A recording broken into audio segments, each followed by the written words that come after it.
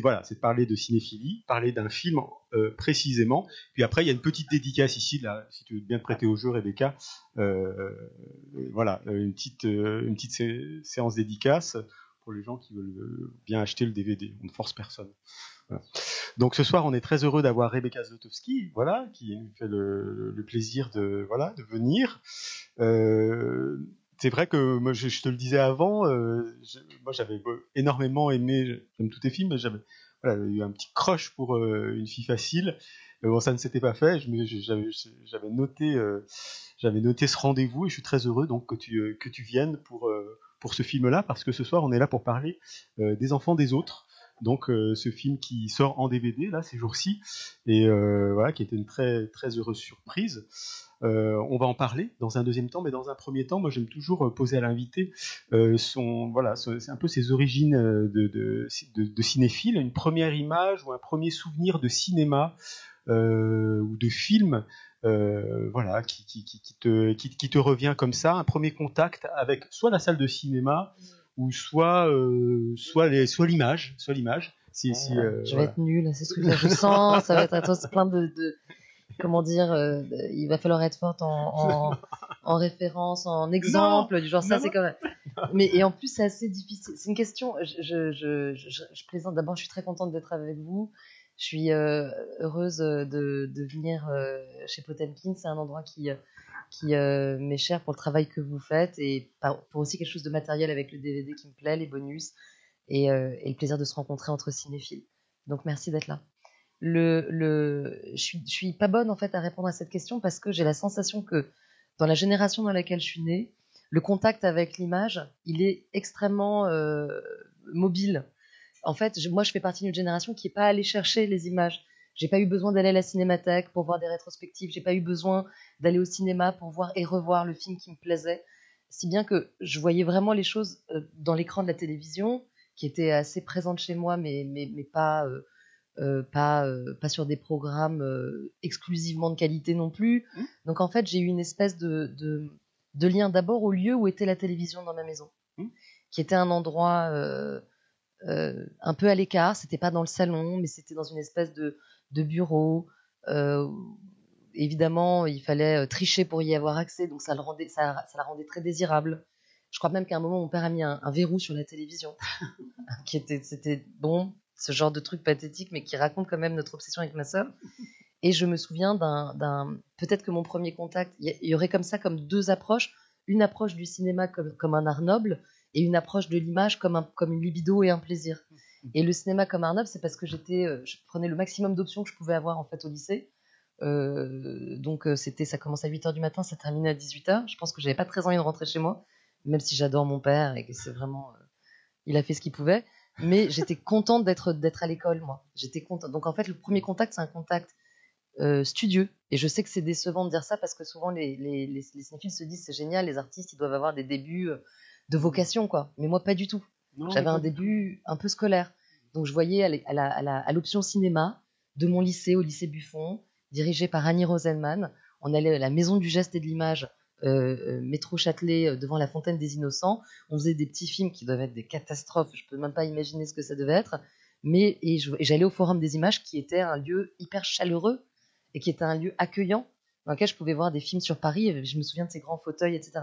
Donc j'ai commencé en fait comme quelque chose d'un peu euh, universitaire, j'allais dire mmh. académique, mmh. et on travaillait, on voyait les films de Fritz Lang, mmh. on voyait les films de Satyajit Ray. Donc ça, c'est mon premier contact. C'est vraiment relou de le dire, mais, mais mon premier contact avec le cinéma, c'était ces immenses metteurs en scène. Et en fait, mon contact avec l'image, évidemment, il, a eu lieu avant. Et c'était du clip, c'était MTV qui était en boucle parce que j'adorais voir. Je me souviens d'une émotion devant le clip de Batman de par Tim Burton. Et, et, ça, vraiment, ce Tim Burton-là, je me souviens que je me disais, c'est pas que du clip, c'est pas que de l'image, c'est pas que de la musique. Il y a aussi quelque chose de, qui circule, qui m'excite, qui me mm. donne envie de le regarder plein de fois. Mm. Et je pense que c'était un peu érotique même. Mm. Et vraiment, c'est un clip génial qui dure euh, des, heures et des heures. qui dure un quart d'heure, voilà, avec. Et euh, donc voilà. Ça, ça a fait partie de, je dirais, MTV, Canal Jimmy, qui est une, chaîne vraiment du câble qui, m'a beaucoup, beaucoup marqué, qui a importé en fait des séries américaines et qui a importé des séries euh, et des films américains. Je me souviens avoir vu Twin Peaks peut-être sur Canal Genie à ce moment-là un été C'était sur... c'était une chaîne hertzienne en fait, hein, Twin Peaks. Oui, mais c'est sur la 5, non? Pas, pas Ça passait sur la 5, c'est ça? je... C'était, je me souviens de cet été-là où Twin Peaks est passé, la série, et où mon père m'a dit tu peux la regarder. Il fallait l'autorisation. Non, bah. voilà. Non, mais tu, es pas du tout. Euh, bah, on n'est pas du tout dans une euh, hiérarchisation comme ça de culture euh, noble, de cinéphilie noble ou populaire. Il y a énormément de, personnes de, nos générations qui ont sont fait leur cinéphilie devant évidemment le petit écran et, qui ont eu leur premier coup de cœur et, après tout ça s'est ouvert, mais mais évidemment, évidemment euh, que tu fais partie de bah, on fait partie de cette même génération-là. les images venaient à nous, quoi. Mais complètement, et où il y avait vraiment des propositions de qualité aussi. Hein. C'est pas du tout. Euh, euh, ton, rapport à l'objet aussi, DVD peut-être aujourd'hui ou pas du tout bah, Je vais dire un truc qui va vraiment me faire basculer immédiatement, quoi. Mais je disais, moi c'était les VHS, quoi. Donc c'est vraiment, je peux lâcher ce micro et disparaître à jamais. Surtout si c'est filmé, c'est vraiment pas sympa. Mais c'est vrai qu'en fait l'objet, moi, c'était c'était la VHS. C'est que j'avais. Donc, je venais d'une famille qui n'était pas une famille de cinéphiles. Je viens d'une famille, comme dirait Bourdieu, avec un capital culturel. Donc, c'était quand même. Il y avait beaucoup de livres, il y avait une attention. La télé, c'était pas sur TF1 en permanence, euh, ou la 5 de Berlusconi, quand on regardait vraiment des, des, des, idioties à la télévision, nos parents nous, nous, en voulaient. Enfin, c'était pas, le, c'était pas le, paradigme. Mais c'était pas non plus des cinéphiles. J'allais pas au cinéma avec mes parents, ils m'emmenaient pas à la cinémathèque, ils me montraient pas des films qui étaient des grands classiques. C'était pas ça. En revanche, ils avaient un, magnétoscope et, comme en plus on habitait au rez-de-chaussée, c'était un magnétoscope qui était volé très souvent, l'époque des vols de magnétoscope bien sûr, le vol du magnétoscope, le vol de l'autoradio, ce qui est quand même, quand on y pense, avec le mec qui prenait l'autoradio dans la voiture et tout, super touchant. Le mec allait en un rendez-vous avec son autoradio, j'avais un cousin qui faisait ça, bon. Une pensée pour toi, Pierre. Elle était bien cette époque. Au resto avec un mec, un date, qui avait son truc. Bah, bah, bien sûr, il y avait des trucs pour les porter, il y avait des trucs pour les conserver, quoi. Est-ce qu'on a besoin de ça? Oui, parce qu'on enregistre ah et ça nous fait, ça, nous fait une, captation plus claire. Et, euh, et le, le, le, magnétoscope enregistrait, voilà, de temps en temps, des programmes qui étaient des programmes qui pouvaient être des programmes qui allaient dans le sens des intérêts parentaux, évidemment. Donc c'était l'intégralité de Shoah. De, voilà, merci. Genre, ça, c'était là, c'était très présent. Shoah 1, 2, 3, 4, 5 parce que c'était long. Donc ça, ça a été fait, ça a été transmis, merci. Mais le reste, c'était pas foufou, quoi. Et donc il y avait des films qui, imaginaient être, je pense, des films pour enfants. Et donc se côtoyer, je pense, en vrai, j'avais accès à, la libido de mes parents. Hmm. Donc il y avait d'un côté euh, les damnés de Visconti, ah oui. euh, Portier de nuit, oui, Brève rencontre. Je vous raconte les trucs là que, que j'ai vraiment, j'ai une espèce de flash.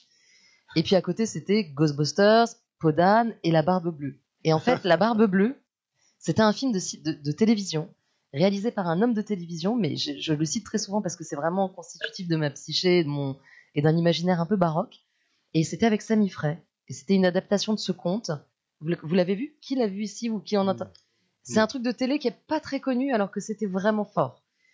Et Sami Frey dedans, donc bon, euh, voilà, grosse rencontre euh, érotique dans ma vie, la voix de Sami Frey, la perspective que Sami Frey puisse exister, j'étais un petit peu comme ça, fasciné, je regardais le film et tout. Et sur un personnage qui est un personnage, euh, voilà, d'ogre, d'emprise sexuelle, un truc très étrange. Et en même temps, c'était comme un, comme un conte qui synthétisait d'autres contes et qui synthétisait le petit pousset, etc., etc., avec Sabine Autepin aussi. Et ce film-là m'a beaucoup, beaucoup marqué. Et je crois que mes parents ne sont pas rendus compte que c'était un film d'horreur. Et que vraiment, je le regardais en boucle et que c'était épouvantable. C'était vraiment, ça se terminait, il y avait toutes les chambres interdites, évidemment la clé tachée de sang, tout était remis en scène avec une espèce de, de, décor euh, très, euh, comment dire, euh, très Dogville, quoi. Il y avait mmh. quelque chose de... Minimaliste. Ouais, au-delà de minimaliste, c'était théâtralisé, très assumé, en, très découpé. C'était un très beau décor et, en même temps très astucieux. Et au cœur de ça, il y avait du sang, quoi. Barbe bleue avec Sami Barbe bleue avec Sami Il, il s'appelle Alain Ferrari, le réalisateur.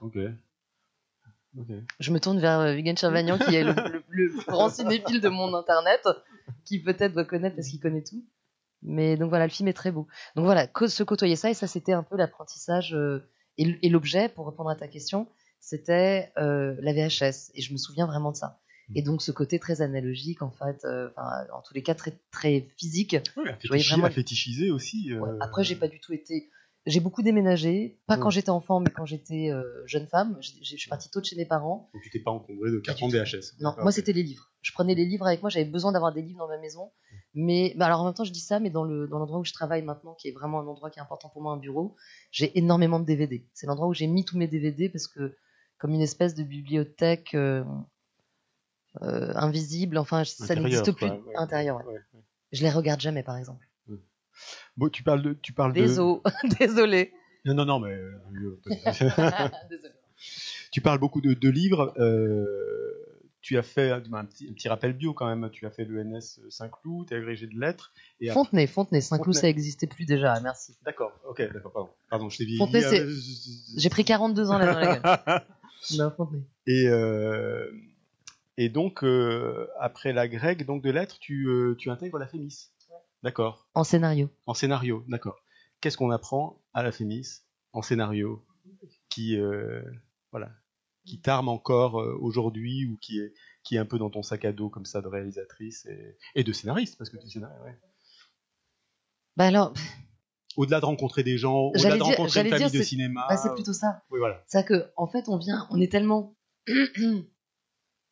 on appartient. Enfin, moi, j'appartiens tellement à cette tradition d'auteur-réalisateur vraiment héritée de la nouvelle vague, qui fait que on avait presque de la méfiance, de la défiance envers le manuel du scénario. À tort d'ailleurs, parce que moi, j'adore apprendre des trucs et astuces. Par exemple, j'ai un souvenir, je me souviens donc, euh, bah, je les cite puisque tu me poses la question. C'était les, comment ça s'appelle les directeurs du département. C'était Yves Thomas qui a coécrit beaucoup avec Patricia Mazui, euh, notamment Saint-Cyr, qui est un film que j'adore, et euh, Marie-Geneviève Ripaud, qui je crois n'avait rien fait ou très peu. Et c'était intéressant parce qu'elle était, elle était, euh, elle était pas aimée par les élèves, les étudiants. Je sens, il y avait des espèces de, il y avait des espèces de cabales contre elle. Parce qu'elle avait pas de, elle était pas, j'allais dire, en moulin euh, à la Fémis. Et c'était un personnage de, qui était vraiment technicienne quoi du scénario. Et moi moi qui étais euh, donc tu as, rappelé mon parcours qui est un parcours très universitaire très académique très très bon élève très bon soldat. J'avais toujours une espèce de rapport moi à l'enseignement qui était respectueux. Je me disais bon a priori ils savent un peu plus que moi à ce moment-là. Donc j'écoutais je faisais mon mais j'avoue que pendant quatre ans ce que j'ai appris vraiment précisément c'était quand je rencontrais des gens qui fabriquaient le cinéma et très rapidement je me suis détournée du manuel du scénariste donc les trubis les, les maquis les, les, les- c'est des, des manuels de scénario que vous connaissez peut-être, qui sont des manuels très vendus, très connus, qui sont vraiment des. des Mais quoi quasi- Mais on arrive à en tirer quelque chose quand même, j'imagine. Toujours Tu tires Oui. toujours quelque chose d'un. euh, Moi, ce que je fais, c'est. euh, Même il y a le, ce jeu-là de cartes qui est le jeu de Brian Eno, où on tire des cartes qui vous racontent quelque chose. euh, euh, quand on est en train d'écrire un scénario, c'est qui? C'est Buñuel et, et, Carrière qui, qui racontaient quand même que. euh, que, que ils jouaient au dé euh, certains scénarios. Moi, j'ai rencontré Jean, c'est Carri- c'est Jean-Claude Carrière. Voilà. Oui, oui, qui est J'ai- pour Buñuel, oui, bien sûr. Et, et je l'ai rencontré à la fin de sa vie et on Mm. avait commencé à, à- à se parler un peu comme ça d'un film parce qu'il habitait dans mon quartier, à côté de, à côté de Pigalle. Et il, il, il me racontait que ouais, il se jouait au dé. Je sais pas si c'est la- ça me semble être un peu euh, du mythe. Ça me semble être Oui, un un peu peu du mythe, mais ça peut coller Mais aussi, au, colle ciné- aussi. au- au cinéma. Voilà, aussi, donc il y a des euh, moments en fait où on, est, on est tellement ouvert au champ des possibles quand on écrit qu'on Oui. se dit n'importe quoi qui va restreindre ce truc-là Oui, peut nous peut être bon à prendre. Alors, et les gens que j'ai rencontrés qui m'ont aidé, c'était Olivier Laurel. Je me souviens de, ce- de cet intervenant qui était, c'est un scénariste de Bouchareb D'accord. qui est, euh, qui est assez fort. Et je me souviens qu'il il invoquait beaucoup la vodka. il disait voilà, alors selon Maître Smir- Smirnov, je sais pas, j'ai un souvenir, de- j'étais hyper heureuse d'avoir ces cours. Pardon, je dis, j'en profite parce qu'on est en plus en petit comité pour euh, vraiment faire un exercice d'admiration de, de, de, de ceux qui m'ont Ouais, transmis. mais quoi. Lui m'a transmis, euh, il disait euh, euh, le conflit intérieur est toujours plus fort qu'un conflit extérieur pour un personnage Mhm. il disait il vaut mieux on a une espèce de, de captatio benevolentiae des 15 premières minutes donc de l'incipit de votre film où on peut tout acheter donc là c'est le moment de faire un gros coup de force de scénario que personne ne va contester après. Même si vous n'avez pas la réponse c'est le moment de le faire c'est dans les 10 premières minutes ou les 15 premières minutes après on va vous poser des questions on va vous dire mais pourquoi le personnage agit comme ça? Il y a une règle qui marche toujours avec un personnage c'est de lui faire dire j'ai mes raisons Oui. Renoir, quoi, le- chaque chacun des personnages. non mais même de le dire de formuler pourquoi t'as fait ça? Pourquoi t'as Ah cambriolé? oui, d'accord, oui. j'ai mes, ra- mes raisons.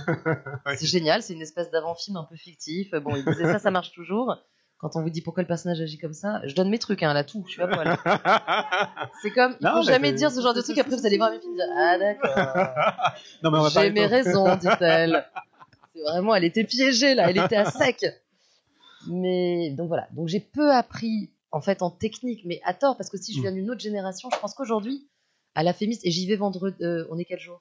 On est vais, jeudi. j'y vais la semaine prochaine et je sens que les étudiants seront différents. Oui. Je sens que les étudiants, ils ont connu l'école de la série, l'école du Ah bah oui. scénariste roi, etc., etc., et qui se sont un peu décontractés par rapport au côté euh, réalisateur euh, euh, inspiré, qui doit écrire un scénario avec deux scènes qui ne, se- qui ne se suivent pas, la psychologie, c'est Mm. pas bien, etc.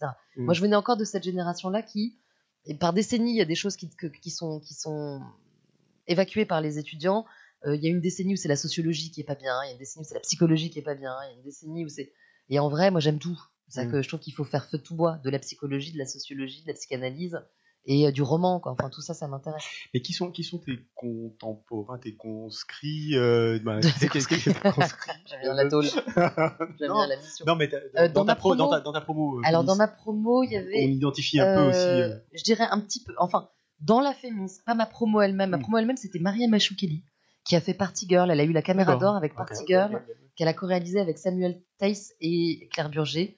Elle, c'était vraiment ma, ma, ma j'allais dire, ma, ma partenaire en, au scénar- en, en team scénario, puisque Mm. quand on était dans le département, on se voyait comme ça pendant des années. Il y avait Loïc Barrère, mais euh, bon, c'est des scénaristes qu'on identifie moins que des réalisateurs. En réalisation, il n'y a pas beaucoup de réalisateurs qui sont sortis de cette promo, à part, j'allais dire, euh, voilà, nous, euh, Marie, à nouveau, des gens qui étaient en scénario.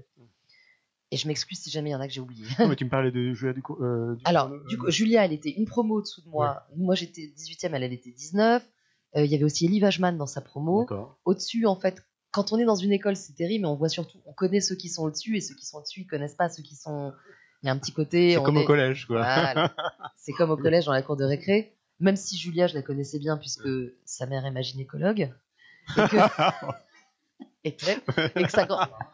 Ah bah, on j'y vais ou pas Ah oui Vous voulez, on est dans la langue de bois ou on la Et que sa grande sœur était l'une de mes meilleures amies. Bon voilà. Donc euh, tout ça, c'est un, c'est un, c'est un. On On, est un- fera un lien avec- avec Frédéric Wiseman, évidemment. Bien hein, sûr. euh, ça, ça, on faire. qui joue le gynécologue dans mon film. Euh, Céline Sciamma était dans cette promo. Jean-Baptiste Delobier Parawan était dans la promo donc de. Céline, qui était deux au-dessus. Et j'ai rencontré Teddy Lucie Modeste avec qui j'ai travaillé par la suite. J'ai écrit ses films, D'accord, qui était encore une promo au-dessus de Céline. D'accord. Euh, Non, mais Est-ce que je rate des gens qui ont fait des. Non, non, non, mais c'est pas, c'est, c'est euh, identifier aussi des, Voilà. euh, des, des, C'est des, généra- des, des géné- des générations. C'est la aussi, génération, ouais, Céline. C'est vraiment Céline Sciamma dont j'ai vu le, le, le, le film de fin d'études. J'ai assisté en fait à sa soutenance de, de fin d'études de, de scénar. Elle était en scénario aussi. Tout ça, c'est des gens en scénario. Hein. de- D'accord. Vajman, Ducournau, euh, Siama et moi, on était en scénar. Ah ouais. Mais tu sais pourquoi? A, Pourquoi il y a plus de scénaristes? Parce que le système de financement du cinéma français, il, est, il se repose sur le scénario. Il repose sur l'écrit. Donc quand tu sors de la Fémis avec un scénario déjà écrit, bah, tu as plus de chances d'être produit rapidement parce que les producteurs se disent génial, j'ai même pas de développement à faire. Ils ont développé pendant un an un scénario. Évidemment, derrière, tu retravailles euh, ad lib, tu vois, tu te retravailles 652 années ton scénario de premier long. Mais en vrai, ils ont quand même une espèce de première, tu vois, ils le développent pas. Et c'est pour ça, je pense que. Et aussi, je pense qu'après, d'un point de vue peut-être psychologique, je pense que tu as beaucoup moins de pression quand tu es en scénario qu'en réalisation. Et que, et que, et que tu, as, tu, as, tu te sens moins attendu, tu te sens moins regardé et tu es plus libre. Tu, tu, euh, tu parles aussi de toi comme héritière un peu de, de voilà, de, une façon de travailler euh, de la nouvelle vague pour, pour, aller vite, mais en même temps, la nouvelle vague avait une façon de s'affranchir aussi. De, de- de- de- de- Quand je dis héritière, c'est sur le rapport au scénario. D'accord. Oui, mais c'est-à-dire euh, un scénario qui tient sur une page et le matin. on- Ouais. Voilà. Toi, tu, tu- dans ta méthode de travail, tu. tu- tu- tu- Non, parce tu- que- Pardon, je te laisse terminer Non, peut-être non, ta non, phrase. Non, non, non, non, non, mais dans ta méthode de travail, tu, comment tu intègres Mais- ça? Je vois pas le, le- je vois pas la nouvelle vague comme ça non plus. Hmm. En fait, je, je dirais pour être pour être euh, schématique, c'est que d'un côté il y avait des techniciens du scénario auxquels je m'identifiais pas, et de l'autre des écrivains et des gens qui écrivaient auxquels je m'identifiais. Et c'était aussi lié à mon rapport à la littérature parce que Mm. j'aimais ça et je venais de la littérature. C'était vraiment mon, mon c'était mon, mon ma langue, c'était mon Mm. champ de représentation euh, initial. Mm.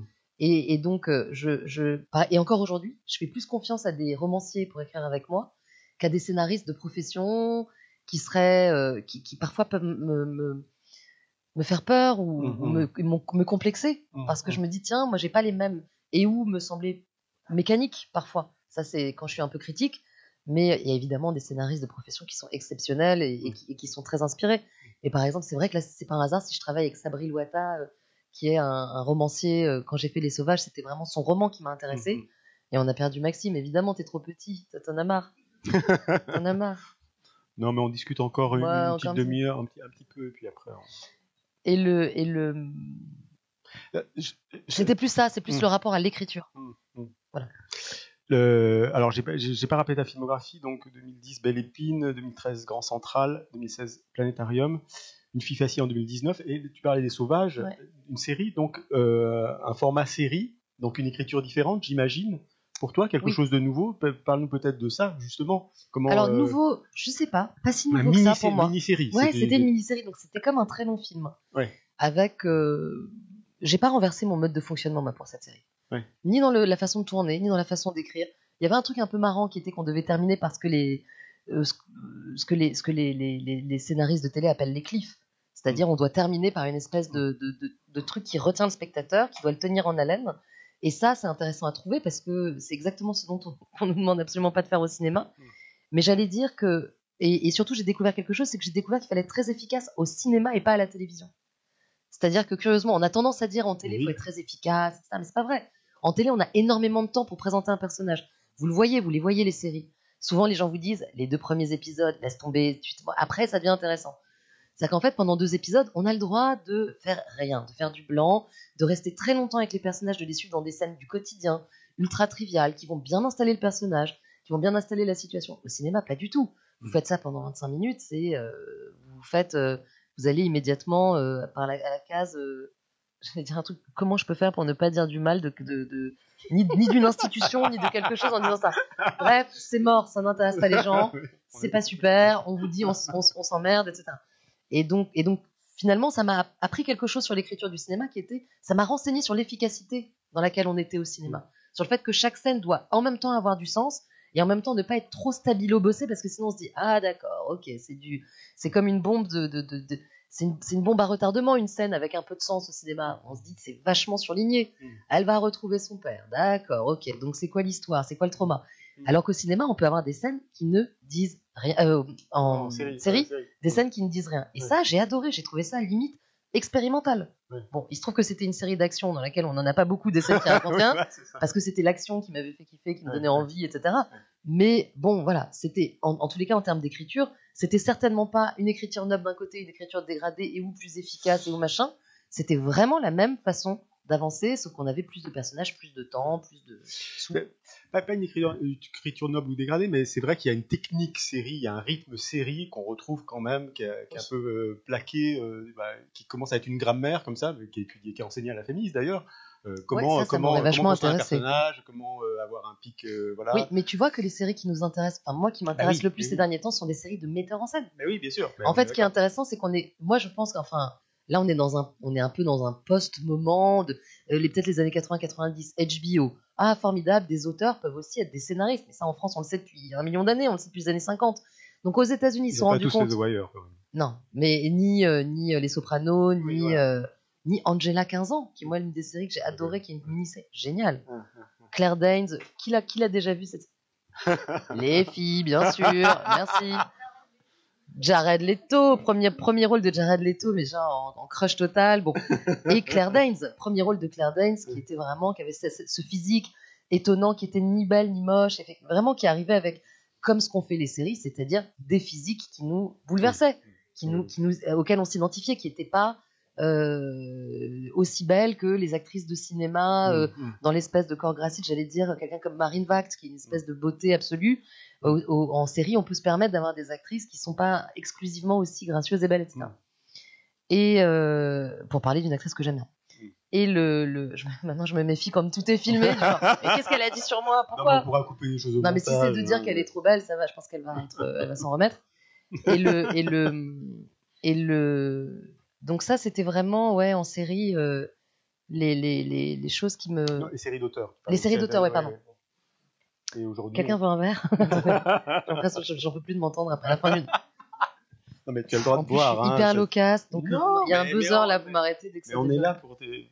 C'était quoi ta question au départ? C'était les séries d'auteurs. ouais. les, sé- les- les séries d'auteurs, non, non, mais Ouais. le fait que les séries soient un peu normées, soient un peu tout Oui. uniformisées. euh, Et que, en fait, ce et qu'on adore, c'est le maintenant contraire. Oui, Le voilà. contraire. Moi, les séries qui m'ont plu ces derniers temps, c'est Euphoria, Euphoria. euh, White Lotus, qui sont Mm. des séries, elles sont bien écrites, mais en vérité, c'est la mise en scène, c'est l'interprétation qui nous plaît. C'est une espèce de tonalité euh, et de mise en scène qui est, qui est, qui est excitante. Et surtout Euphoria, qui est vraiment, sinon, c'est Beverly Hills. C'est un Beverly Bah, Hills c'est un peu trash, mais- euh, ouais, Oui, oui, c'est une sorte Oui. de, je dirais Melrose Place. Alors, ouais.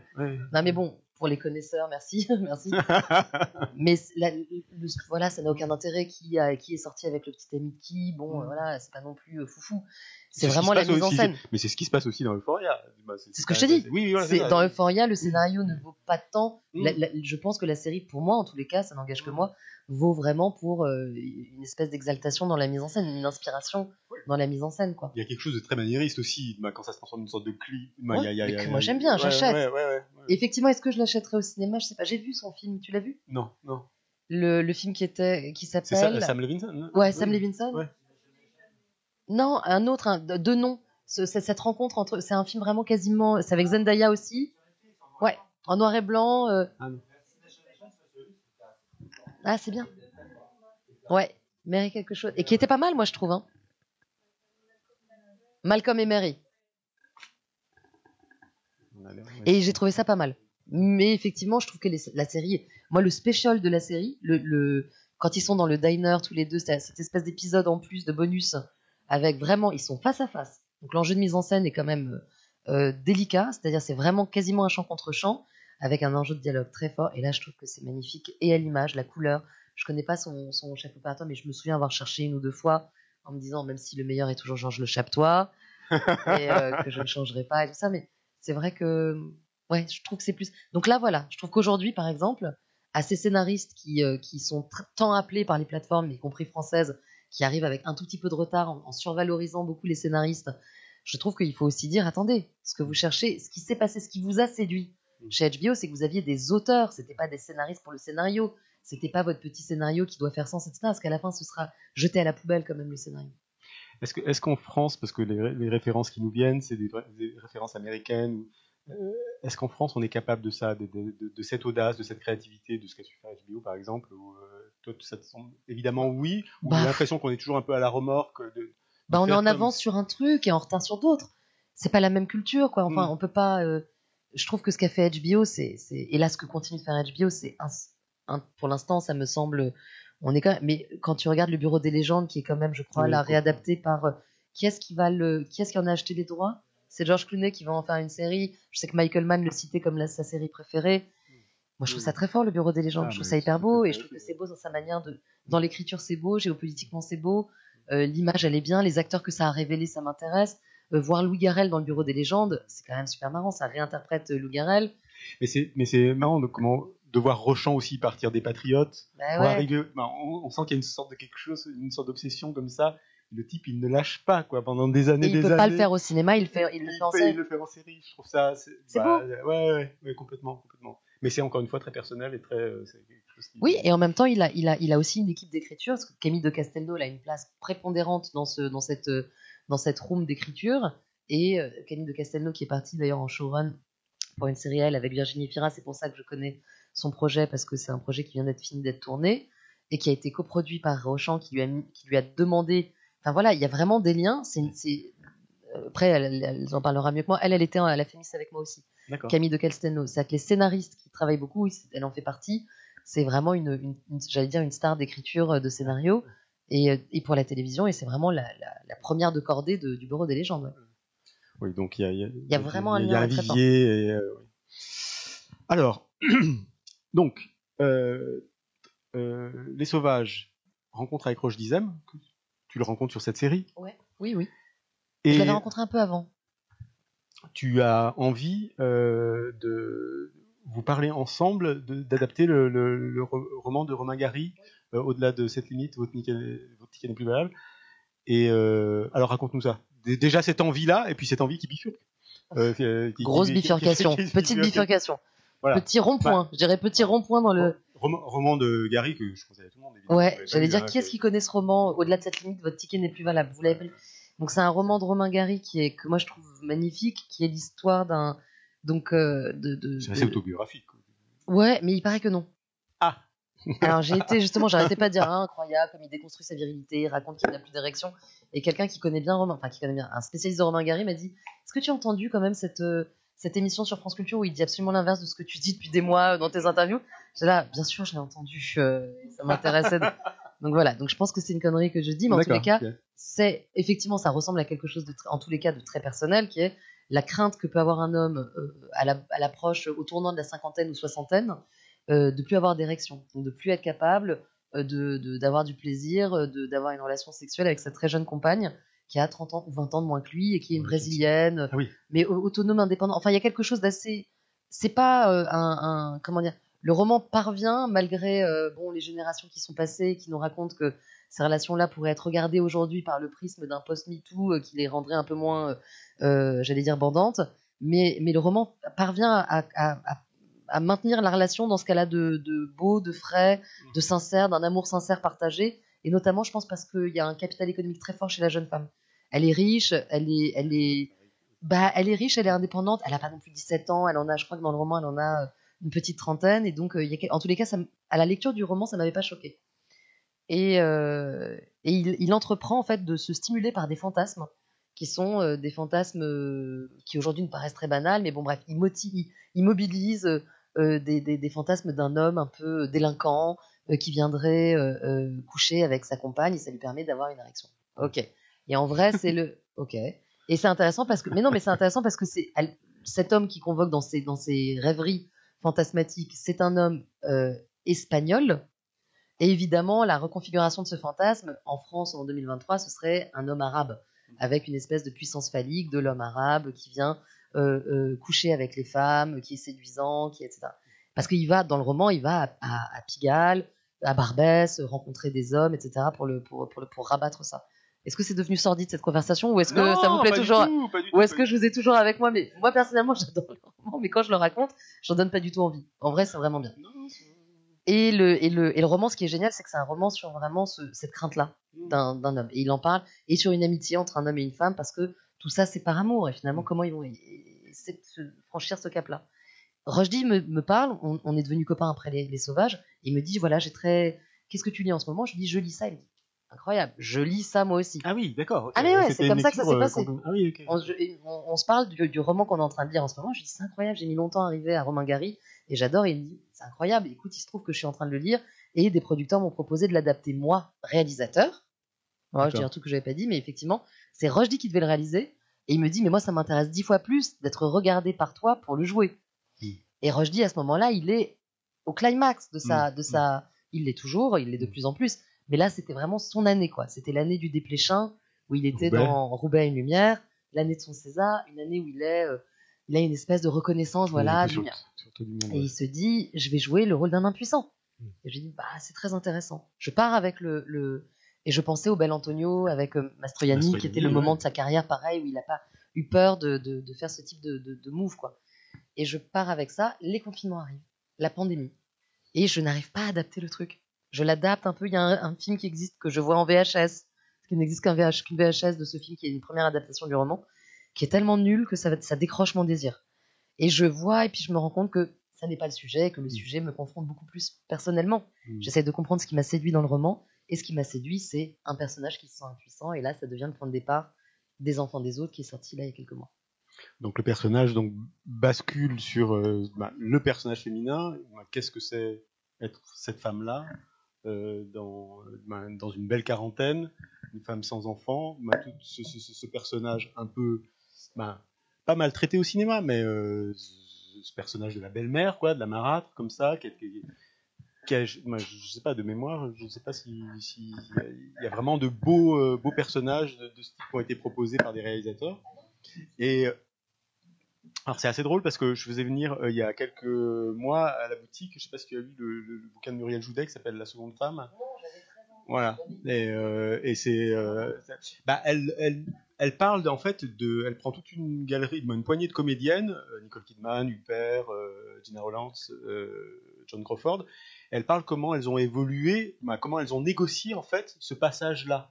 C'est-à-dire comment elles l'ont anticipé ou comment elles l'ont accompagné et à travers leur rôle qu'est-ce que c'est de devenir une femme de 40 ans, 50 ans, qui, qui ne peut plus avoir d'enfants, qui vieillit, qui est confrontée voilà, au désir ou non des hommes et tout ça? Et c'est un bouquin assez passionnant, mais qui parle plus de leur filmographie. Mais bon, c'est cette bascule-là. Qui parle de elle en tant qu'actrice et pas en tant que personnage. Enfin, ça, ça bah si, les deux, les deux, se confondent, mais comment en fait leur filmographie ont, cette cohérence-là, ont une certaine cohérence, qu'elles ont choisi ou pas. Alors c'est intéressant quand elle parle de, de, Crawford, qui elle a choisi très tôt de s'en les dire, a choisi d'anticiper en fait ce moment de bascule pour mm. pas avoir à le subir quelque part de la part des studios, de la part des réalisateurs, tout ça. Parenthèse, parenthèse fermée. Voilà. Et, euh, et donc on a, on a, on a, on a, pas, on a parlé de ça. Et donc voilà, toi tu le mets en scène, tu l'incarnes et tu, euh, tu Sur un autre, disons que c'était pas, euh, comment dire. Je savais pas que Crawford c'était en lady euh, pour euh, pour devancer l'appel. Ouais, en fait, moi je trouve qu'une femme âgée, elle est pas moche, elle est pas laide. Non non non non non. Mais... non mais bah, d'une certaine d'une certaine manière, Virginie Efira, elle l'a fait, elle l'a fait aussi. Hein. Dans 20 ans d'écart, elle joue déjà une femme de 40 ans alors qu'elle avait 35 ans. Oui, c'est. C'est la seule actrice qui a compris que en se vieillissant, elle allait avoir des rôles, enfin en acceptant quelque chose qu'une autre actrice sur laquelle une autre actrice aurait pu avoir un peu de coquetterie, mm. qui serait de dire attendez, j'y suis pas encore, la mm. mollo. Hein, hein, hein. Elle, elle s'est dit ok, génial, le rôle est bien. Bon bah c'est pour une fille de 40 ans, j'en ai 34, 35. Allez, c'est pas grave, je vais pas mal le prendre, on y va. Et donc elle a incarné, et donc c'est pour ça aussi qu'elle a une dizaine d'années, ça fait une dizaine d'années qu'elle joue les femmes de 40 ans, c'est qu'en fait elle a 40 ans depuis qu'elle a 35 ans. Mm, donc ça fait d'elle une femme qui a eu une espèce de. qui a, qui qui qui a incarné, inventé une décennie qui était une décennie effectivement plutôt mal aimée chez les femmes, qui était plutôt le moment, et je pense que Joudet euh, a dû euh, identifier ça aussi, qui était le, le, moment où les, où les femmes actrices avaient de moins en moins de rôles, bah étaient de moins en moins regardées. Et, euh, et, chez Virginie Efira, ça a été, c'est le moment qui l'a fait émerger, qui l'a fait naître. Hmm. Ce qui explique deux choses. D'abord, c'est qu'elle est ces rôles-là, enfin, à, répétition dans, dans, sa décennie, et aussi que qu'elle soit comme neuve pour nous. Mm, mm. Donc on se demande, mais comment c'est possible de tourner autant de films, d'être toujours autant aimé tout C'est qu'en fait, c'est récent. Mm, et, et c'est pas comme une actrice comme la difficulté quand on est et le génie d'Isabelle Huppert par exemple, c'est d'avoir émergé si jeune et de continuer d'être désirable 30, euh, 40, je sais pas, euh, euh, trentaine d'années après, alors qu'on a été projeté, regardé, qu'on a accompagné la vie des uns et des autres. Virginie, oui et non, parce qu'en fait, elle a accompagné la vie de la télévision, euh, du, programme pop, mais au cinéma, en fait, les rôles, ça a 7-8 ans. Mhm. Donc c'est ça, c'est la seule femme actrice de 40 ans qui peut se dire, je suis récente, je suis, c'est neuf, etc. Et peut-être il y a d'autres actrices comme ça. D'ailleurs, ce serait intéressant de voir, d'aller chercher des actrices de théâtre ou, des, ou, des, ou des nouveaux visages. Je pense que c'est ça aussi qui se passe au cinéma quand on a besoin de ce qu'on appelle des new faces. Mhm. C'est-à-dire des gens qui, à un moment, vont incarner et qui n'auront pas le poids de euh, leur euh, grâce enfantine, quoi. Mhm parce qu'on la connaît pas la grâce enfantine de, Virginie, qui a dû sacrément exister, je pense. Mais d'ailleurs, de temps en temps, elle me parle de ces petites euh, euh, vidéos euh, en, Belgique où elle faisait des, interviews. Elle me disait, écoute, je portais des couettes avec des trucs bizarres, et je rêve de les voir, mais il y a une part de moi qui a pas envie de le voir, mais qui a envie de le voir. Moi, je suis dans ce dans ce moment de combat là pour l'instant. Mais, mais, mais Virginie Fira s'est imposée tout de suite, toi, à l'écriture ou, très, très, rapidement, très, rapidement, très rapidement je trouve que il y avait un détour, euh, il y avait, j'avais sa prosodie en tête. J'avais déjà écrit un, film en, pensant à elle, mais je ne sentais pas. Je la trouvais quasi émouvante. Elle me faisait peur de sentimentalité.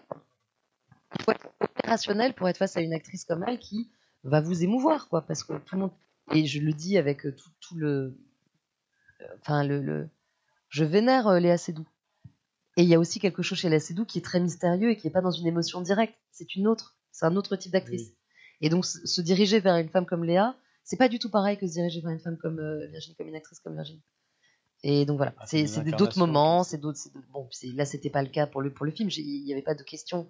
C'est pas le, le c'était pas du tout entre ces deux actrices ou ces trois actrices que ça pouvait se jouer, mais elle s'est imposée très vite. Ouais. J'avais très envie très vite, et puis ça faisait longtemps que j'avais envie de travailler avec elle, et je me sentais prête à ça, et j'avais envie de travailler avec des gens que j'aimais bien je sortais du confinement, j'avais envie de travailler avec des gens avec qui j'aimais passer du temps, avec qui j'aimais prendre des verres, avec qui j'aimais aller au café, avec qui j'aimais me réveiller le matin. J'aimerais pas me réveiller le matin.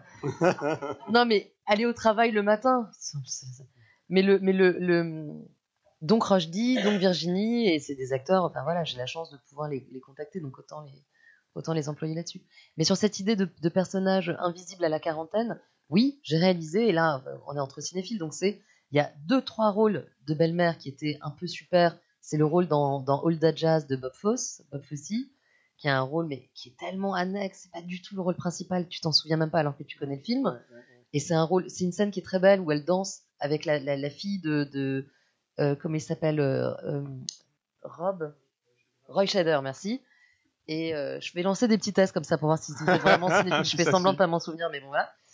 Et le et la scène est super belle. Elles sont toutes les deux, elles font un spectacle de danse. Tu t'en souviens pas?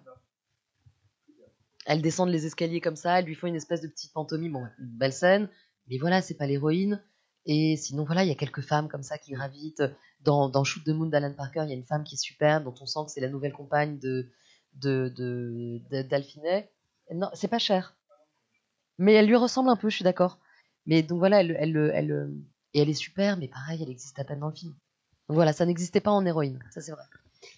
Comment, comment est-ce que. Alors, j'ai l'impression, c'est ce que tu as dit dans pas mal d'interviews, mais que c'est un film où tu as mis beaucoup de toi, beaucoup de ton parcours, et euh, peut-être pour, une première fois, euh, tu, tu, mêles de l'intime et de la fiction. Comment, comment est-ce que tu, tu arrives à trouver le bon dosage et comment, en fait, bah, j'ai l'impression que le film est aussi presque un documentaire sur, sur, sur cette, sur cette femme-là, presque sur Ephira elle-même, une façon de la, voilà, de, de filmer des, des, moments de rien, des moments de comment est-ce que tu euh, comment est-ce que, tu construis ça euh, dramatiquement j'ai envie de ah, dire parce que qu'il y a des moments de où on la laisse moi je trouve qu'il y a peut-être pas assez de moments où on la laisse vraiment respirer pour à nouveau c'est ce que je racontais au cinéma il n'y a pas de scène pas efficace. Là tout le film il est oh, franchement il est lancé ah vers le ah ouais. Moi j'ai pas même il m'a manqué euh, bon j'aurais aimé faire tourner la caméra et la regarder parce que ça suffit. Elle, est, vraiment super euh, impressionnante, Virginie Alors, je, reformule. Bah, c'est, bah, je trouve que le film est vraiment structuré comme euh, une sorte de, de, de, témoignage, de, prise d'image, mais de ses réactions. C'est comme si ah tu, c'est comme si tu la bombardais, comme si c'est un atome, tu la bombardais d'électrons, d'émotions. Je suis d'accord qu'elle dans sa réaction. Et, et, de, scruter comme ça, de regarder. Comment elle, se retourne derrière. Vous l'avez vu le film? Vous l'avez pas encore vu? Parce qu'il y a. Bah, si vous avez l'occasion de le voir, c'est vrai qu'elle est On va montrer un extrait, hallucinante quand même dans ce film. C'est ce moment où elle se retourne, elle, elle, euh, voilà, euh, elle laisse partir une petite fille. Je, vais, je comment ne pas spoiler le truc, bon, et elle, euh, elle, et elle se retourne. Et là vraiment, je repense très souvent à ce, à ce ah. plan. Pourtant, j'ai vraiment eu la chance, de travailler avec des ah. super actrices. Mais là, ce plan-là, je sais pas comment elle a fait. Et pour la part autobiographique, oui, oui, je, je, j'y suis allée de toutes les façons, je me suis dit, on a toujours honte de faire un film, donc autant avoir honte de raconter un truc vraiment perso. Euh. voilà, celui-ci, il fallait le faire comme ça, et mm. j'ai pas eu honte. Puis après, bon, est arrivé un moment où on, se, décolle quand même. Voilà, c'est ça. Hein. Mais c'est pas, c'est pas dans la honte ou non, non, non, ou dans le côté. pudeur, mais c'est de se dire. D'autant que c'est quand même assez distant. voilà, c'est ça. Comment trouver le, la, distance assez bah, Comme j'ai pas, j'ai pas de fétichisme moi de mon autobiographie, c'est que je me dis pas c'est super intéressant parce que je l'ai vécu. C'est juste que c'est plus intéressant parce que je le connais. Donc voilà, c'est tout. C'est plutôt les personnages, je les trouvais plus faciles à écrire, plus facile à tourner avec mon propre père, qui coûtait moins d'argent, qui était pas disponible, plus facile à tourner sur des lieux que je connaissais très bien. Mais je suis allé très loin en fait, même je crois que je vous avez même pas idée. En fait, j'ai tourné dans les chambres d'hôtel dans lesquelles je suis allé, genre. Ah oui, d'accord. C'est le père de Virginie Fira. Ah, Celui qui joue le père.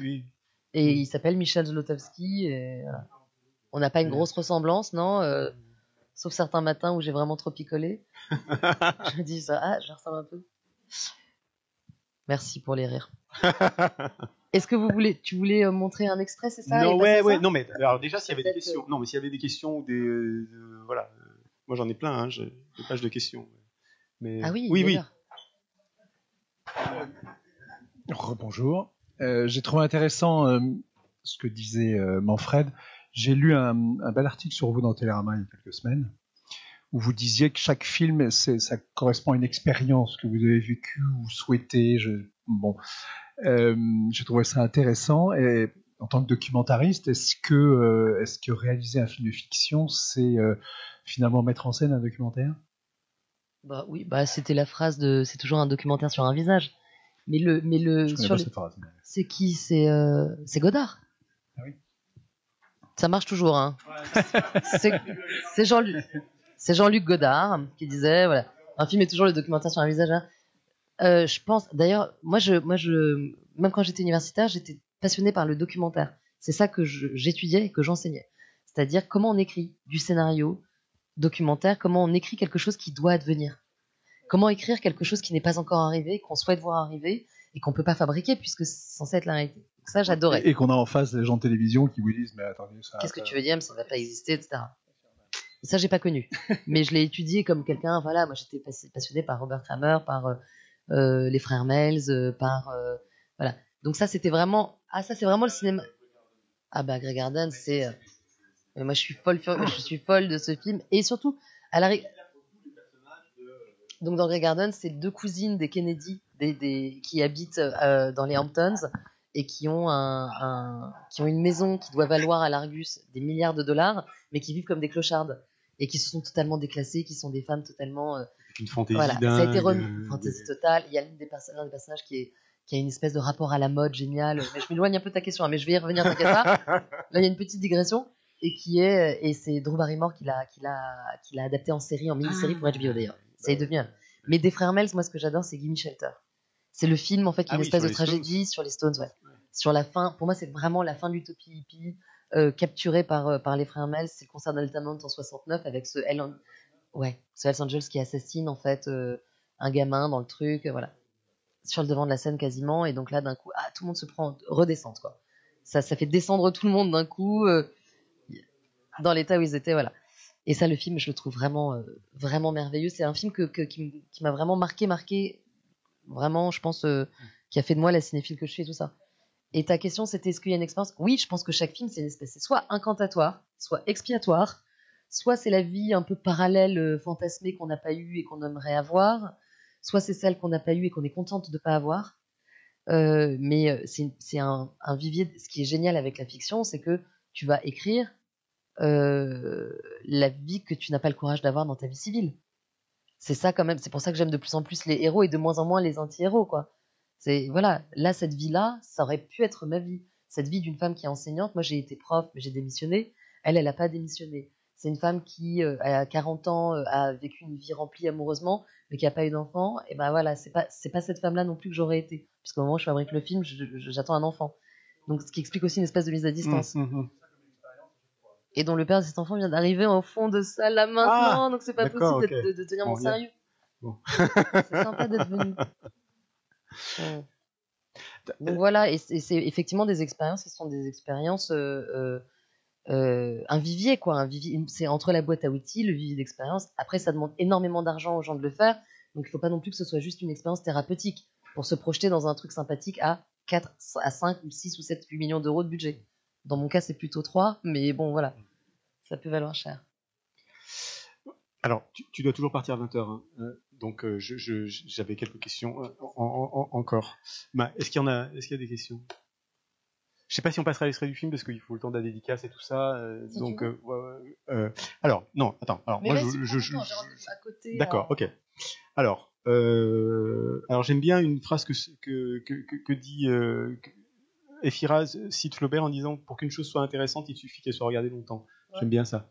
Et euh, bah, c'est très Flaubert et en même temps, je moi trouve... je trouve que ça suffit pas. Mais, mais non, non, mais ce, ce, perso... mais ce, ce, personnage-là, moi je trouve qu'il y a vraiment quelque chose par rapport au film. Genre, on la scrute, on regarde ce qui se passe, on regarde ses réactions.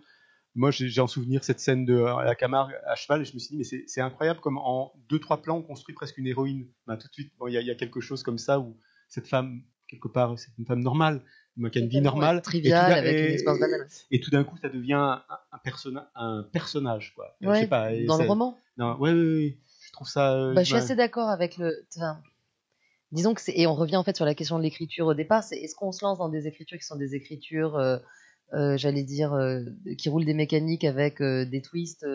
des retournements de situation, une espèce de, de, de, de, de, de technique à la comment il s'appelle ce, ce, ce, scénariste que j'aimais bien, David quelque chose, la maison des, des jeux. Comment s'appelle-t-il? Ouais, à la David Mamet. Donc il y a vraiment, il y a une espèce de pulsion. Il y a toujours deux tropismes en fait dans un film. On a, on a la pulsion d'écrire un scénario qui est hyper verrouillé, mm. House of Games. J'adore ce film-là. Et, et d'un autre côté, euh, on a une autre pulsion, un autre tropisme qui serait plus, voilà, dans l'angle du documentaire sur le visage, qui serait de dire. Ah bon? Ouais, sauf que c'est, sauf que c'est, sauf que c'est tellement verrouillé à la fin que non. Je pensais plus au, euh, à l'affaire espagnole, un truc qui s'appelle machin avec espagnol. L'auberge espagnole. Non, l'auberge espagnole, c'est Cédric Clapiche, c'est pas David Mamet. Non, non, non, la, la, euh, la, prisonnière espagnole. prisonnière espagnole. Merci, dis donc. Il y a un très très haut niveau là. Bon, Il y a un, haut niveau de circulation Non, mais il est pas loin, surtout. de- de- de- voilà. Je pense toujours que le, le point de départ de House of Games, c'est le documentaire sur les, sur les petits mecs, comment ils vivent leur journée euh, dans le petit New York, comment ils font leurs arnaques de tous les jours. Et là-dessus, il a greffé, évidemment, en tant que bon scénariste, une histoire qui est absolument incroyable. qui est tellement Euh, pleine de rebondissements voilà, que tu peux que- pas ah oui, imaginer. Je pense que son point de départ, c'est le plaisir du ça, retournement de situation, de, Oui, oui, oui. du twist, Ouais. de l'excitation de surprendre le spectateur, de lui donner quelque chose qu'il n'a pas vu. Ah oui. Euh, je m'en souviens plus assez mince. Mais, le, mais le, en tous les cas, voilà, l'idée c'était soit on est dans ce côté-là, de ce point de vue-là, de foi dans la fiction, qui est quelque chose qui nous emmène dans une espèce de divertissement qui nous fait nous oublier, soit on est dans un divertissement qui nous fait nous, nous identifier et, euh, et, et nous ressembler. Et c'est vraiment, c'est la, la phrase d'Ernaud. Alors là, malheureusement, comme Brigitte, est- elles sont, elles sont là euh, quasiment à chaque fois que je parle. Je et c'est une phrase qui m'a marqué, qui est celle d'Ernaud en tu recevant peux le. reciter, Non, mais elle est Arnaud, il n'y a magnifique. pas de problème. C'est de dire l'intime, ça nous rassemble. Mm. Donc d'une certaine manière, c'était vraiment le projet de ce film-là spécifique, qui contrairement aux autres films que j'avais fait, et tu as raison de citer qu'ils étaient assez différents, qui n'ouvrent pas une porte vers un inconnu, mais qui, qui ouvrent une porte vers un papier peint qu'on connaît un peu intimement, en tous les cas que ceux qui sont urbains, qui ont euh, ce, ce- ce niveau de vie qui est pas non plus ni super bourgeois, ni non plus de classe de, de- de- de prolétariat. Mm.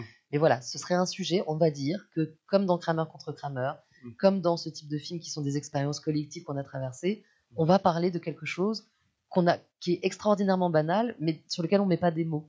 Et, et ce film, il va le regarder. Et effectivement, on va le regarder longtemps, et à la fin, ça va nous dire, ça, on va s'identifier à ça. Alors, j'ai une question où, euh, voilà, quel- quel- quel- une scène qui m'a posé question? C'est la scène, bah, je ne dévoile rien même pour les gens qui vont, mais c'est la scène de l'accident.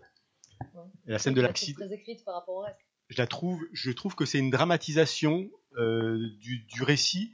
Je me suis dit, est-ce qu'il y avait vraiment, mais c'est plus une question qu'une affirmation, mais est-ce que le récit avait vraiment besoin de ça? Est-ce qu'on avait vraiment besoin de ce moment-là, ce petit climax, pour la retrouver sur, euh, avec sa Minerve, sur une, euh, Ouais, d'autant qu'en plus- D'autant que je vais par pas au bout de la scène, parce qu'en fait, dans cette scène-là, et je le sais, j'aurais dû faire revenir Kira Mastroianni.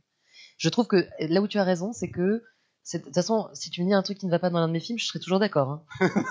Que là, j'ai un Non, non, non, énorme mais c'est une souci. Non, mais c'est une J'aurais plutôt tendance à dire, mais évidemment, c'est pas du tout nécessaire, c'était Non, non, nul. mais c'était une question. C'était Mais- une question que je me suis posée pendant le film. Je me la suis posée aussi. Je Mm, trouve que, en effet, il y a une espèce de, il y a une espèce de truc, euh, comment dire, de, de, de disruption, tu vois, dans le, dans l'écriture. L'écriture, elle est, elle est extrêmement, euh, j'allais dire, euh, j'ai dit le mot disruptif ou pas? Parce que ça, c'est Oui. vraiment, j'ai l'impression d'avoir. C'est pas le mot, c'est, c'est un, il y a, y a, un- il y a un- une césure, quoi. Là, c'est pas la même langue, c'est pas la même grammaire du film, c'est vrai. Euh, je me suis rattachée quand même à l'idée que comme elle racontait qu'elle avait perdu sa mère dans un accident de voiture, et comme c'était vraiment relié à une expérience très personnelle qui était que quand je donc je suis une, une femme qui a qui, qui, qui suis belle-mère et les moments les plus terrorisants indépendamment du fait que je suis pas une très bonne conductrice tout court c'est quand on n'est pas bonne conductrice avec des enfants qui ne sont pas les siens dans une voiture Mm. ça c'est l'enfer Mm. c'est vraiment c'était oh, ben, l'enfer je crois qu'il y a pire mais disons que c'était le type d'expérience qui m'a suscité provoqué une certaine prise de conscience de la responsabilité euh, de l'amour que je pouvais leur porter, de, de, qui, qui pouvait me, me, me projeter dans euh, la tragédie, le tragique, etc. Et d'ailleurs, euh, c'est bien que la première fois que j'ai eu le, le quand j'ai, on est en France, donc on n'a pas de permis de port d'armes, à part mon père qui fait du tir à l'arme. J'ai découvert ça il y a une semaine. Genre j'y vais, ça me détend, ça me relaxe. Ce qui m'a vraiment inquiété. Mais bon, donc à part quelques personnes, euh, voilà, de- de bizarres autour de moi, on n'a pas d'armes. La, seule fois où je me suis dit tiens voilà une arme que j'ai dans les mains avec laquelle je peux me tuer et tuer, c'est quand j'ai eu le permis de conduire. En fait, ça va bien. Si vous voulez, je peux vous déposer quelque part parce qu'en vrai, je peux quand même conduire. Mais c'est quand même ça que je me suis dit. Et, et donc, cette scène-là, elle naît en même temps d'une certaine, d'un certain désir de jouer avec le nerf du spectateur qui est nous demander à quel moment l'événement va arriver, puisque c'est le principe de ce film. Mm. C'est un film sans événement. Mais justement, mais Et voilà. oui, mais il faut bien, il faut bien qu'on joue avec cette tension-là Oui. et qu'on se demande la- bon, alors attends, c'est ah très bien, je suis spectateur, je me dis c'est ici que ça va arriver. Non, mais Non. le périph, la pluie. Ah, bien sûr, le- on y va. Bah, on est dans la tension. Hein. Et plus l'expérience qui a été racontée avant, qui était de dire voilà. je suis une femme qui a perdu ma mère sa dans un mère, accident de voiture. voilà. on se dit ok l'histoire va se Oui, répéter voilà ce qui se passe ça va être tragique non et en fait ça nous mène à un autre endroit qui est cette scène elle existe pour mener au début de la, de la, de la dissociation amoureuse entre euh, Voilà, et elle oui. Sauf que c'est pour ça que j'ai pas été au bout Mm. et que si j'avais réfléchi à ça mieux, j'aurais fait venir un coup de fil entre Rushdie et Chiara Mm. ou présente Chiara Mastroianni qui est là parce que la petite a un accident. Mm. Évidemment, on appelle sa mère. Bah oui. On appelle sa mère et son père. Et là, euh, mon héroïne aurait été vraiment ah d'une dans la culpabilité de l'avoir créée, de deux, bah elle est rien pour cet Bah enfant. oui, oui. Et là, la scène, elle, elle valait vraiment la peine d'exister. Et on comprenait qu'elle allait défaire quelque chose dans leur couple, même si je l'ai fait de manière un peu euh, infra. Là, on, on le comprenait vraiment. Et je pense qu'il y a même des spectateurs, y compris américains, qui disaient Mais je comprends pas pourquoi ils se séparent. Ça avait l'air d'être super bien entre eux. Il est vraiment con, cet Ali. Et je disais Bah non, en fait, ça a été amorcé là. Moi, je comprends très bien qu'on Bah oui. se sépare de quelqu'un quand on a eu cette frayeur-là, à ce Mm. moment-là. Et qu'on s'est dit Le jeu n'en vaut pas la chandelle, j'ai pas de lien, etc. etc. Est-ce que Euh, j'ai répondu à cette Mais question oui, mais c'est mais c'est mais c'est très agréable. euh, bah, non, mais c'est intéressant de- d'avoir euh, Oui, mon bah, point de vue dessus, ouais, sur le les. point de vue et puis l'ego non plus qui est pas là. Où, il, euh, Il est énorme ailleurs, hein, dans le truc. Est-ce qu'il est parti Il est pas là pour entendre ça. Voilà. Non, juste une dernière question sur la mu- musique. Je suis très contente d'entendre Ouais. Monk déjà, Ouais. Et parce que je trouve. Et juste une question, mais c'est une question un peu débile. Mais euh, euh, les eaux de Mars de Moustaki, je me suis dit, mais pourquoi elle l'a pas passé en euh, la version de Tom Jobim? C'est un truc débile. débile Alors, débile. Je l'adore, Voilà. c'est. Je l'adore, mais d'abord, c'est très surprenant. D'abord, j'adore J'a- le français. Je, je trouve qu'elle est juste parfaite, juste pour la fin du film. Je- bah, Tu sais que la fin de, de Worst Person in the World de Joachim Trier, elle se termine par Les eaux de Mars par Jobim. Ah d'accord, ok, ok, ok. Alors, surprenant, donc moi je fais le, le, le film. Ça, ça arrive souvent. Bah, La question, même- question plus globale par rapport. À la Oui, oui, musique bien dans sûr. film, Non mais ça c'est la intéressant parce que c'est tout. Bon, sinon je vais te répondre un truc générique sur la musique, c'est très important pour moi. euh, J'adore. Euh, voilà, je travaille avec le même compositeur. Vraiment, j'y pense beaucoup avant. C'est pas au hasard, etc., etc. Je suis mélomane, etc. Mais le truc intéressant, c'est que donc donc le monk dont tu parles au départ, c'est Panonica et qui a deux thèmes de Panonica et qui est en fait le thème de, de du Vadim, euh, euh, les liaisons dangereuses 60, qui est donc c'est vraiment le le- le- l'extrait qui est montré au début du film, dont on va voir quelques images si vous voulez, et qui est avec cette musique-là, qui est la BO, le score vraiment de, de- du, du film de Vadim. Donc moi j'ai joué avec, j'ai Mm. construit la scène à partir Ah, de cette musique-là et le générique de début, etc. Et dans les eaux de Mars, donc de fin, c'est ma, je, je- je- j'ai un, un bin, enfin une sorte de chutier avec de- des musiques qui seront importantes pour moi au moment de l'écriture. Ça en faisait partie. Ma monteuse installe ça à la toute fin. Je me souviens que je trouve ça trop too much, quoi. Je me dis c'est trop Oui, sentimental. Oui, rien. côté Et elle me dit si si si garde-le, on le garde. Et à ce moment-là sort le film de Joachim Trier et je vois que il a le, le, le, le dernier plan, son dernier plan c'est ça. Ah. Je me dis c'est quand même euh, et mon film était déjà mixé, enfin fin, Oui, fin de mixage, un truc comme ça. Donc je l'ai pas changé, mais ça m'a intéressé. Je me suis dit tiens c'est drôle Mm. de terminer. Donc j'étais d'autant plus heureuse de pas prendre la version. euh, Non, mais j'aime beaucoup la version Moustaki, mais c'est vrai que quand, ben, dans l'oreille, quand on a le duo, euh, Jobin et tout ça, il y a une sorte de jeu comme ça en plus. Mais je crois que euh, j'aime. Ouais, Ouais, mais bon, après. c'est- ça c'est vraiment. Moi j'aime bien celle de celle de. celle de- Est-ce que tu. On a le temps de regarder ça ou c'est Oui. pas la. Bah, pas la va- peine. Moi, moi, je vais, je vais, je vais, je vais lancer le film, mais qu'on ait le temps, que les gens Oui, aient le je temps fais une de. petite, euh, Voilà. Mais juste une dernière question, est-ce que tu allais voir le documentaire d'Alain Gomis sur euh, Monk, justement? Mais non, mais j'ai vu que tu- Alain. Mais il faut que Gomis, tu ailles- le voir. J'ai adoré euh, évidemment féliciter et je sais qu'il il préparait euh, le vrai le vrai le film le Ouais, ouais, hein, de ouais. mon cœur qui, coécrit avec Gaël Massé qui était ma scénariste de Grand Central et D'accord, d'accord, ok, ok. et Belle Épine. Faut- Et donc faut non j'ai pas vu le film encore faut mais voir. ça a l'air hallucinant. Ça Oui, c'est sorti en salle, c'est en salle. mais ça a l'air trop trop violent surtout c'est violent c'est violent, mais qu'est-ce que c'est c'est un bah, documentaire un sur une, apparition en fait télé de Télénews Monk Sur dans lequel il y a un truc euh, hyper euh, Oui, qui doit jouer encore. hyper violent hyper raciste tu l'as vu? Il faut voir, il faut voir ce, do- il faut voir ce documentaire. C'est une réussite. c'est encore en salle là? Oui, ça s'appelle Renew, Renew and Play, Play, Replay, New- je vais aller le voir Rewind and Rewind Play. and Rewind and Play. Il faut aller voir ça. Merci. ok Un grand merci à toi, Rebecca. merci à merci, vous. merci, merci beaucoup. merci, mon frère.